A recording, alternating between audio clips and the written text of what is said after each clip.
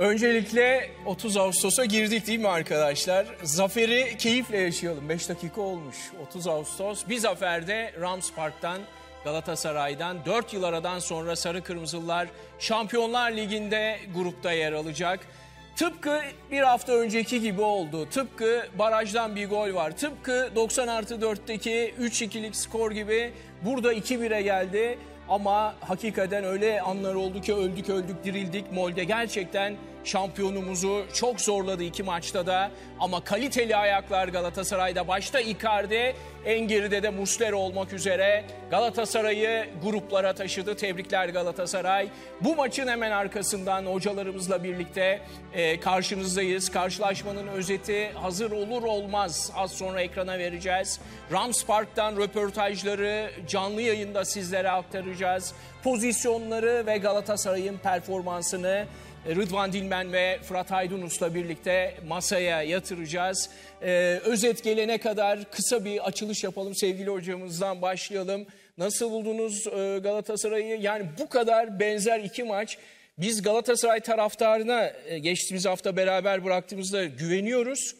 Burada hava daha farklı olacak. Birazcık da sıcaklığa da güveniyorduk ama hemen hemen ilk maçın bir benzeri oldu değil mi hocam? Nasıl e, yorumlayacaksınız bu 90 dakikayı? Tabii ki bizim için çok önemli bir gün. Demokrasi adına, özgürlük adına. 30 Ağustos Zafer Bayramı kutlu olsun diyelim. Tesadüf de olsa kızım da 30 Ağustos olduğu için Onun da doğum buradan günü. öpüyorum. Ne güzel günde doğmuş. Evet, Benimki çok- onun 31 için- ama. Evet. Bir günle kaçırıyor Feza. Her günde doğru. Ee, Şöyle e, bu maçları 500 bitti değil mi? İki maç toplamında 500 oldu değil mi? Tabii. 500. Şu istatistikler her şey değildir. Dün işte girmeden yayına West Ham maçını konuşuyorduk. Brighton'ı 3-1 deplasmanda yendiler. 82-18 falan oynandı. İki maçın toplam şutuna baktığımız zaman Molde'nin herhalde liginde bu kadar şut attığı yoktur. Ama şunu söyleyelim. Çok hazır ama çok fit durumdaki bir Molde. Bana göre kendi kapasitesinin yüzde ellisinde bir Galatasaray. İki maçta da daha üstün oynayan Molde bu maçta dahil olmak üzere. Buna rağmen de tecrübesiyle ve çok büyük ihtiyacı vardı Galatasaray'ın ve Türk futbolunun bu Şampiyonlar Ligi'ne atmaya ki galibiyetle iki maçı kazanması da çok önemliydi. Öncelikle Galatasaray Şampiyonlar Ligi'ne hoş geldi diyelim. Bu herkes için çok kıymetli bir olay. İnşallah umarım da Perşembe günü hem Beşiktaş hem Demirspor hem Fenerbahçe'de bu serüvene devam ederler. Oyunla ilgili gerçekten futbol kolay bir oyun değil. Fizik çok önemli, psikoloji çok önemli.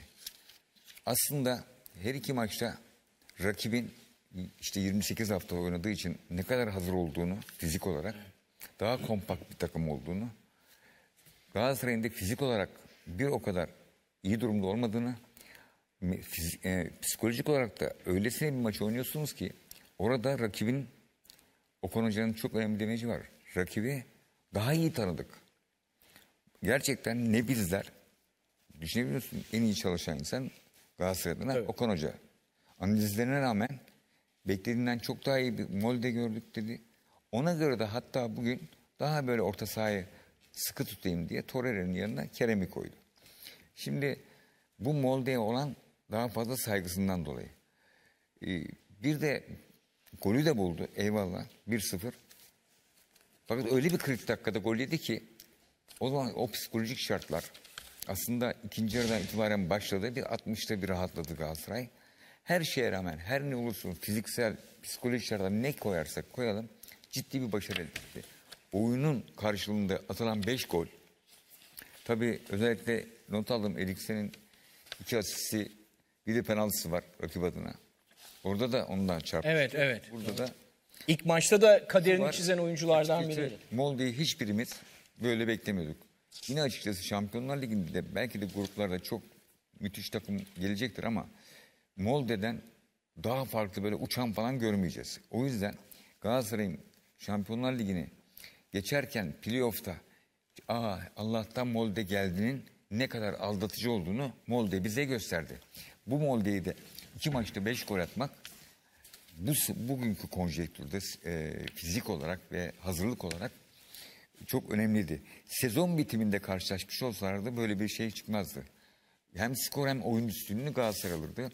Daha sezonun başı ve gerçekten de e, önemli dersler çıkarılabilecek. Şampiyonlar Ligi'nden gelecek olan geliri de ekleyecek olursa yani Galatasaray'ın şu kadrosundan geçen senenin formüle daha iyi durumdaydı Galatasaray. Kesinlikle daha iyiydi. Mesela oyuna soktuğunuz oyuncu Zaniolo'ydu. Attığı gollere baktığımız zaman hem rakibi kendi sahasında itiyor. Örneğin bugün Zaniolo ikinci devre oyuna girdi diyelim. Molde öyle rahat rahat falan gelemez. Çıkamaz, tabii. Keşke gelse dersiniz. Geçen yılki kadrodan ki o zaman Torreira çok fit durumdaydı. Bakın sezona iyi başlayan bir cezası bugün son 20 dakikayı bitiremedi. Hatta emniyet olarak da Kaan'ı sokmak zorunda kaldı orta sahaya. Okan Hoca. Bu yüzden de çok ders çıkarılması gereken bir maç.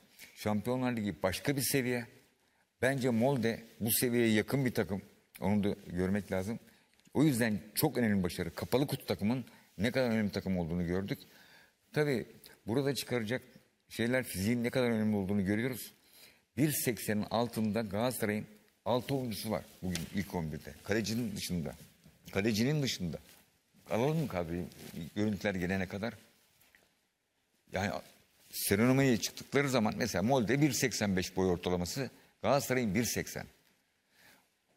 Şu takımda 1.80'in altında 1, 2, 3, 4, 5 bir tane daha vardı. Torreira'yı Torreira 1.66. 6 oyuncular 80'e geçen 2 oyuncusu var. 81 ve 85 olarak.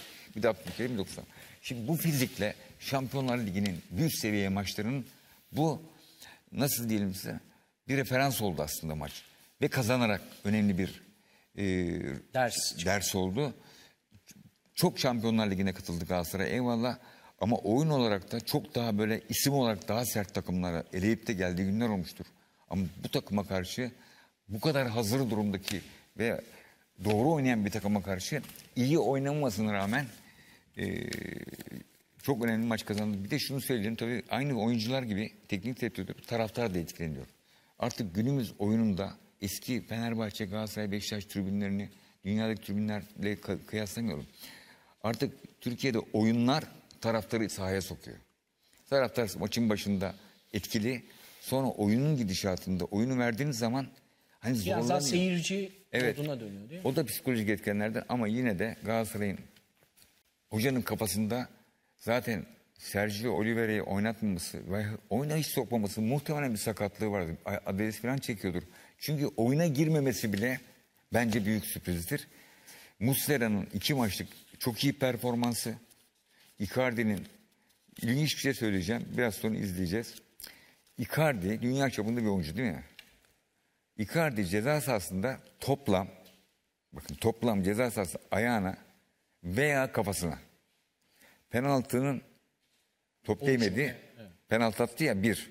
Bir de ikinci yarı 57. dakika 58. dakika top değdi. Ceza sahası içinde Icardi'nin Mario Icardi'nin ayağına iki defa top değdi. Dışarıda çıkmak zorunda kaldı. Okan Buruk dedi geçen hafta Molde maçından sonra biz daha fazla Icardi'ye top getirmemiz gerekiyor. Ona da soyunmaya kalktı çocuk.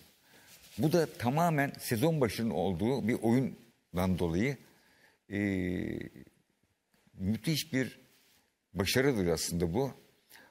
Bunlardan ders çıkarıp ki hemen yapması mümkün değildi. 15 Eylül'e kadar Galatasaray'ın mutlak surette Şampiyonlar Ligi seviyesinde bir takım yaratması lazım. Bu fizikle, bu oyuncu kadrosuyla, şu andaki mevcut kadrosuyla çok başarılı olacağını düşünmüyorum.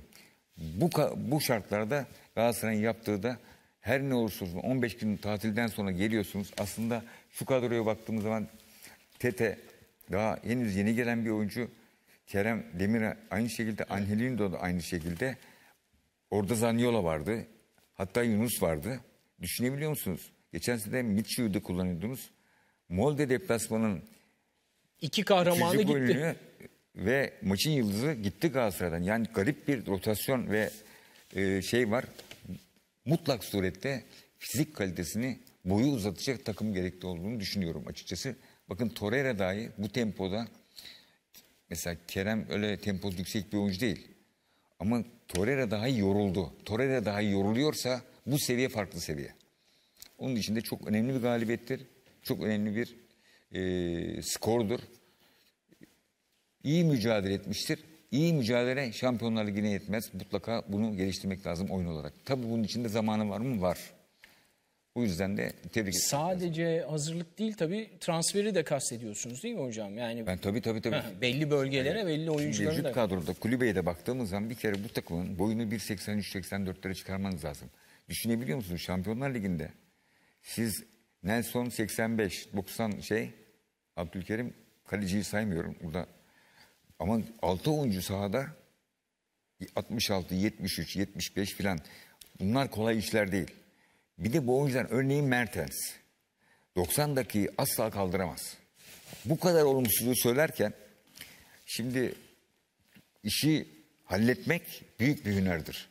Çözmek değil mi? Çözmek 6 maç geldin sonunda. Bu. O yüzden de Galatasaray'ın bir zamanı vardır. Grup maçları daha vardır. Hem fiziksel takımın kalitesi, fizik- fiziksel kalitesi artacaktır. Artacak. Oyuncuların güveni artacaktır ama transferdeki politikaların mutlak surette ona göre yapmaları lazım. Tabii buna göre de daha pozitif bir e, gelişme bekliyoruz. Aslında